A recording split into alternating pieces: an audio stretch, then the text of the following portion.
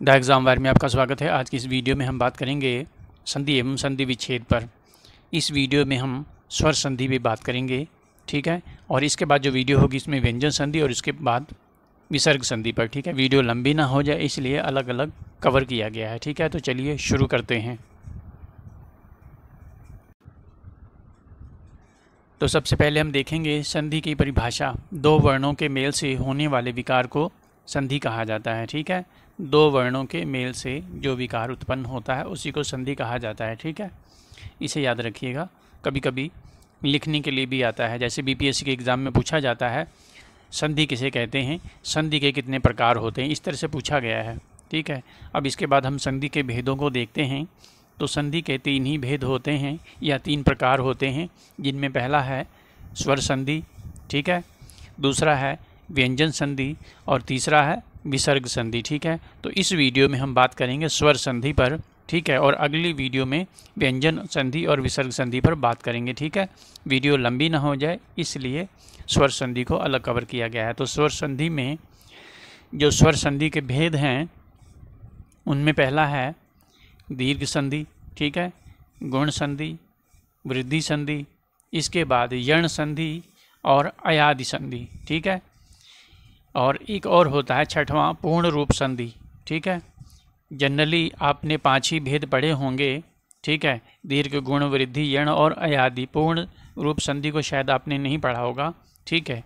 तो इसको भी बताएँगे, ये क्या है? तो सबसे पहले चलिए देखते हैं स्वर संधियों में दीर्घ संधि, ठीक है? तो दीर्घ संधि का जो सूत्र होता है वो है अकह स्वर्ण दीर्घ, ठीक है? अकह स्वर्ण दीर्घ।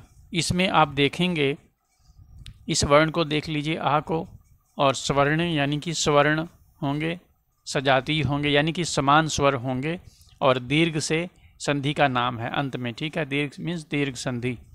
तो समान स्वर होंगे, स्वर चाहे हरस्व हों या दीर्घ हों, उनके मिलने के बाद जो उनका रूप है, वो दीर्घ हो जाता है, ठीक है? स्वर ह्रस्व हों या दीर्घ हों, इससे मतलब नहीं है। समान होने चाहिए, सजाती होनी चाहिए, स्वर्ण होने चाहिए, ठीक है? तो ये बीच में स्वर्ण लिखा हुआ है, इससे आप समझ जाएँगे कि समान स्वर्णों, स्वरों की बात कर रहा है, सजाती की बात कर रहा है, ठीक है? और शुरुआत किससे होगी? आ से होगी, ठीक है? अकह स्वर्ण दीर्घ। ये है सूत्र, इसे याद रखिएगा। आगे हम देखते हैं कैसे। तो आप देखेंगे आ है, ठीक है?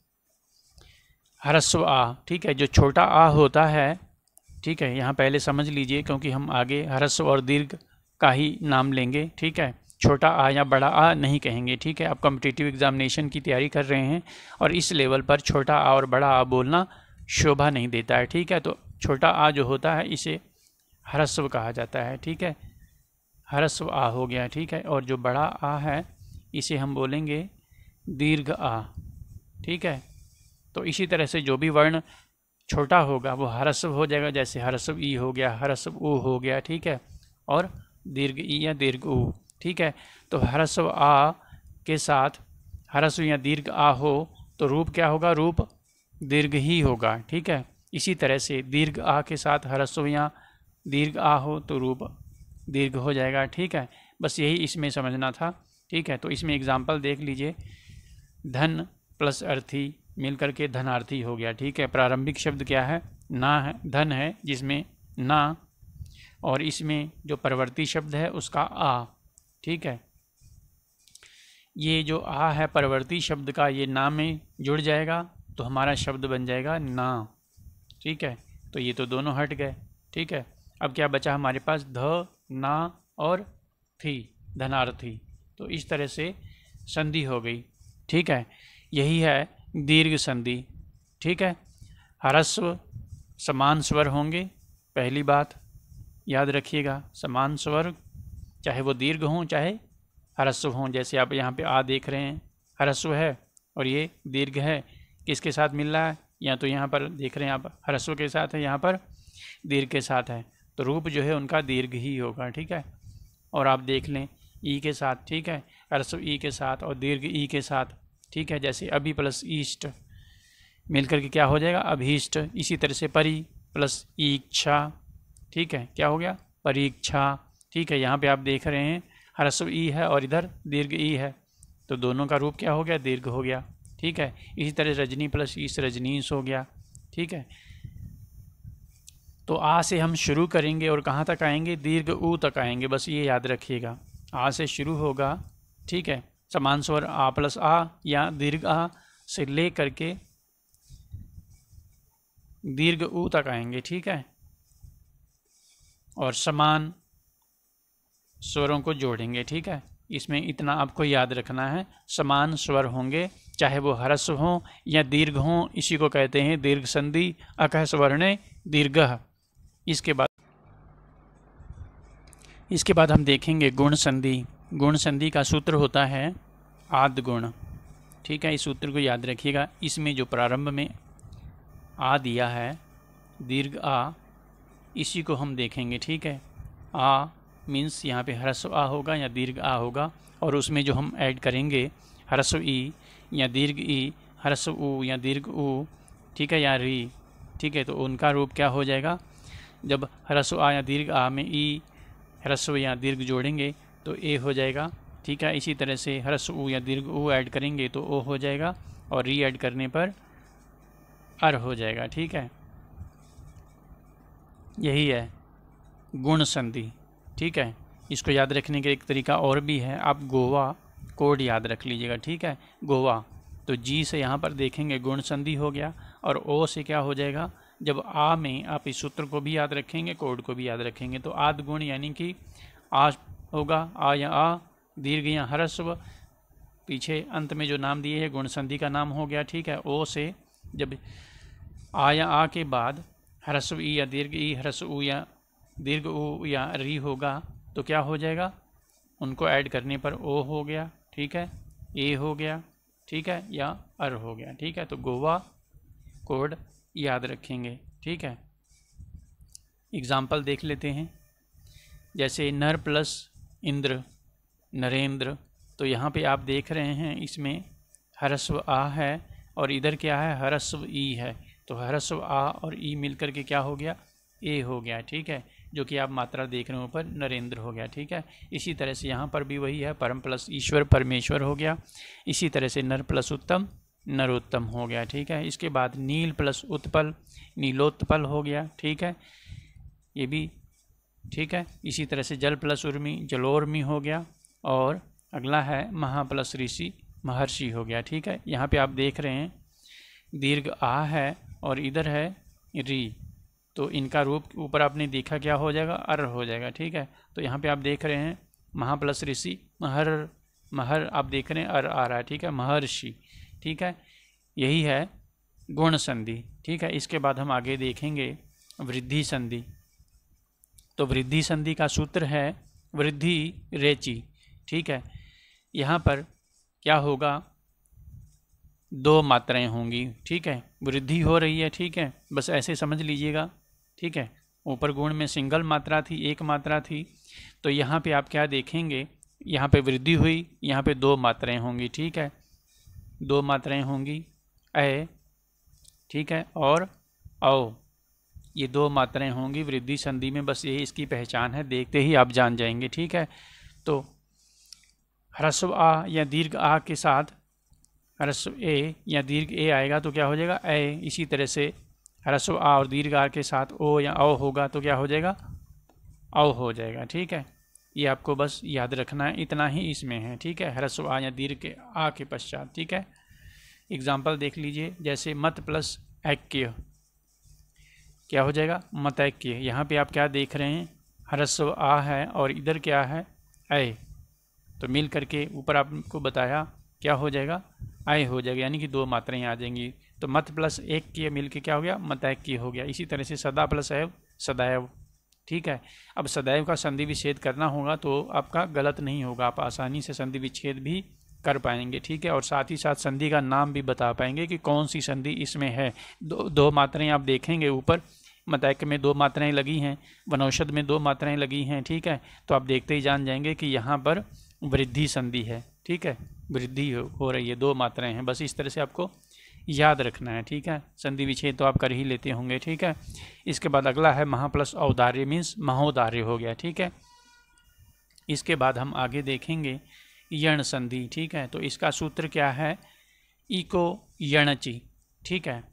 तो इस सूत्र को भी देख लीजिए। इको यणची यानी कि प्रारंभ में आप क्या देख रहे हैं? ई है। तो ई या तो ह्रस्व हो या दीर्घ हो, इसी में इसके पश्चात, ठीक है, ह्रस्व या दीर्घ ई के पश्चात आपका ह्रस्व आ, दीर्घ आ, ह्रस्व उ, दीर्घ उ, ह्रस्व ए, दीर्घ ए, ये वर्ण हों तो उनका रूप क्या हो जाता है? ये आपको देखना है। क्या हो जाता है? ई को यणची, या हो जाएगा। ठीक है? देखिए। यदि ह्रस्व ई या दीर्घ ई के पश्चात आ आता है, ह्रस्व तो वो हो गया या। दीर्घ आएगा तो उसमें या हो जाएगा, मात्रा लग जाएगी, ठीक है? इसी तरह से ह्रस्व ऊ तो यू हो जाएगा, ठीक है? दीर्घ ऊ होगा तो यू, फिर इसी तरह से ये ये, यो यव हो जाएगा, ठीक है? आसानी से आप समझ रहे होंगे, ठीक है? उदाहरण देख लेते हैं, जैसे अति प्लस अल्प, ठीक है? तो यहाँ पे क्या है? ह्रस्व ई है। और इधर क्या है? आ है। तो मिल कर के क्या हो जाएगा? या हो जाएगा। ठीक है, अति प्लस अल्प मिलके क्या हो गया? अति अल्प हो गया। यहाँ पे क्या आप देख रहे हैं? या हो गया। इसी तरह से इति प्लस आदि मिलके क्या हो जाएगा? इत्यादि। ठीक है, यहाँ पे आप देख रहे हैं या हो गया। ठीक है? क्योंकि ह्रस्व ई के साथ यहाँ पे आ देख रहे हैं। आ ऐड हुआ है। इसी तरह से अति प्लस उत्तम मिलके अति उत्तम हो गया। ठीक है? क्योंकि यहाँ पे ह्रस्व ऊ है तो यहाँ पे मात्रा आप देख रहे हैं, छोटा ओ की होगी, ठीक है? हरस्व ओ की। इसी तरह प्रति प्लस एक प्रत्येक हो गया और अति प्लस ओज अत्योज हो गया, ठीक है? यही है आपकी कौन सी संधि? इको यणची, अर्थात यण संधि, ठीक है? सूत्र को याद रखिएगा। इसी तरह से अब यहाँ पे ई और ई देखा आपने, ह्रस्व और दीर्घ। इसके पश्चात अगला है इसी में, यण संधि में ह्रस्व उ या दीर्घ उ के साथ, ठीक है? ह्रस्व उ या दीर्घ उ के साथ शेष वर्ण ऐड करेंगे, ठीक है? पहले आपने ई ह्रस्व या दीर्घ देखा तो इसकी जगह पर ह्रस्व उ या दीर्घ उ था, ठीक है? अब यहाँ पर जो वर्ण थे ह्रस्व उ या दीर्घ उ, वो यहाँ पे आ गए, ठीक है? और जो ई ह्रस्व या दीर्घ थी, वो यहाँ पे आ गई, ठीक है? तो अब यहाँ पे क्या हो जाएगा? वाह हो जाएगा, ठीक है? जहाँ पे ह्रस्व आ होगा, वहाँ पे वाह। ठीक है, इसी तरह से। ऊपर या देखा आपने, यहाँ पे वाह हो जाएगा। बाकी सेम पैटर्न होगा, ठीक है? वी वी, वे वह ठीक है? जहाँ ई है तो वहाँ पे वी हो जाएगा। ह्रस्व होगी तो दीर्घ होगी तो वी हो जाएगा, ठीक है? बड़ी की मात्रा अर्थात ह्रस्व ई तो वी हो जाएगा, ठीक है? ये आपको याद रखना है, ठीक है? एग्ज़ाम्पल देख लें। सु प्लस अल्प, ठीक है? तो यहाँ पे आपने क्या देखा?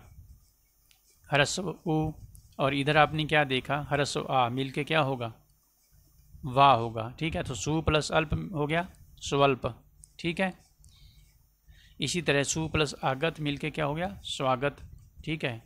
ये आ, इसमें आ गया। ठीक है? अनु प्लस ईक्षण। ठीक है? मिल के क्या हो गया? अनवीक्षण। ठीक है? दीर्घ ई होगी तो मात्रा क्या होगी? वहाँ पे दीर्घ ई की हो जाएगा। ठीक है? इसी तरह अनु प्लस एषण मिल के अन्वेषण हो गया। ठीक है? इसके बाद है अयादि संधि। इसका सूत्र होता है एचो अय वायावह ठीक हो? एचो अय वायावह ये सूत्र याद रखिएगा अयादि संधि का। तो प्रारंभ में आप ए देख रहे हैं तो इसमें इसका मतलब क्या हो गया? पर एक ए होगा, या अय होगा, उसमें भिन्न स्वर को ऐड करेंगे तो हमारा क्या हो जाएगा? अय, एचो अय। ठीक है? इसमें आप अय देख रहे हैं तो अय हो गया, फिर उसके बाद आया वह आए, फिर आगे देखेंगे। अय आय अव आव हो जाएगा, ठीक है? जहाँ पे ओ होगा, ठीक है? ओ होगा, वहाँ पे अव हो जाएगा अव होगा तो वहाँ पे आव हो जाएगा। इसी तरह से यहाँ पे अय होगा तो आय हो जाएगा, ए होगा तो अय हो जाएगा। बस इतना याद रखिएगा। अय आय अव आव और ये भी आप देख रहे हैं, क्रम से आ रहा है। ए, आए, ओ, आओ। ठीक है? वर्णमाला में भी क्रम से आते हैं तो इसे भी क्रम से याद रख लें, ठीक है? उदाहरण देख लेते हैं। जैसे ने प्लस अन। ठीक है? तो नयन हो गया। ठीक है, यहाँ पे आप क्या देख रहे हैं? ए और आ मिलके क्या हो गया? अय। ठीक है तो शब्द क्या बन गया? नयन। इसी तरह से नए प्लस अक मिल के क्या हो गया? नायक। ठीक है, इसी तरह से आगे देखेंगे। ओ प्लस इत्र तो यहाँ पे आप क्या देख रहे हैं? ओ और हरस्व ई मिल के क्या हो गया? पवित्र। ठीक है? अव अव हो गया, ठीक है? पव इत्र पवित्र। ठीक है? इसी तरह से पो प्लस अक, पावक। ठीक है? यहाँ पे अक आ गया। ठीक है? इसी तरह से गए प्लस अक गायक हो गया। ठीक है? तो इस तरह से ये संधि विच्छेद हो गया। ठीक है? संधि विच्छेद या संधि आप कर सकते हैं सूत्रों के अनुसार। ठीक है? और साथ ही साथ आप ये भी पहचान सकते हैं कि यहाँ पर कौन सी संधि? इसके पश्चात हम देखेंगे स्वर संधि का छठवां रूप, पूर्व रूप संधि। ठीक है? छठवां प्रकार है पूर्व रूप संधि, जो आपने पुस्तकों में नहीं पढ़ा होगा और ना ही आपने यूट्यूब पर किसी वीडियो में देखा होगा। ठीक है? स्वर संधि का ये छठवां भेद है। तो देखते हैं क्या होता है पूर्व रूप संधि में। आपने अक्सर पुस्तकों में पढ़ा होगा ठीक है? एक चिन्ह होता है जो एस जैसा होता है, ठीक है? जिसे आ ही पढ़ा जाता है, ठीक है? कुछ इस तरह का बना होता है, ठीक है? इसी से संबंधित है ये पूर्ण रूप संधि। तो याद रखिएगा, ए, या, ओ के पश्चात यदि आ हो, ठीक है? तो इस आ के स्थान पर जो हमारा चिन्ह होगा वो क्या होगा? ये वाला आ होगा, ठीक है? इस तरह से। बस यही है पूर्व रूप संधि, ए या ओ के पश्चात यदि आ हो, ठीक है? ह्रस्व आ, याद रखिएगा, ठीक है? ह्रस्व आ हो या फिर दीर्घ आ हो, ठीक है? यही है पूर्व रूप संधि, ये आपको याद रखना है सूत्र।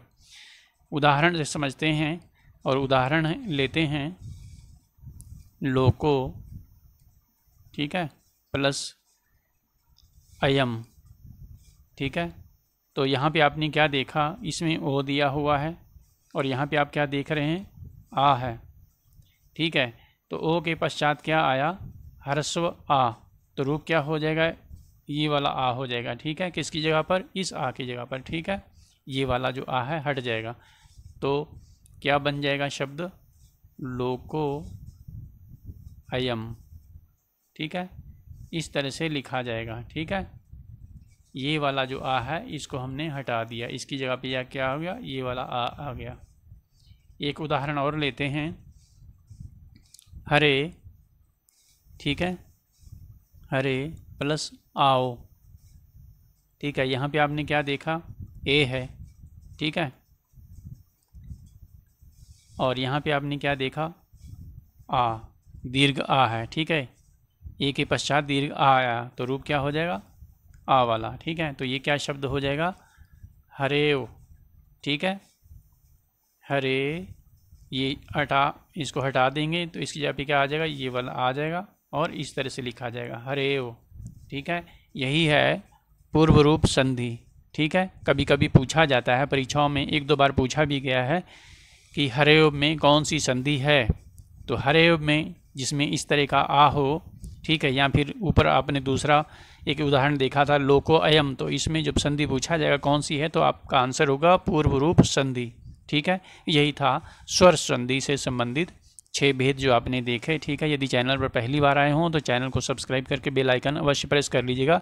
वीडियो को लाइक भी कर दीजिएगा। वीडियो को देखने के लिए आपका बहुत बहुत धन्यवाद।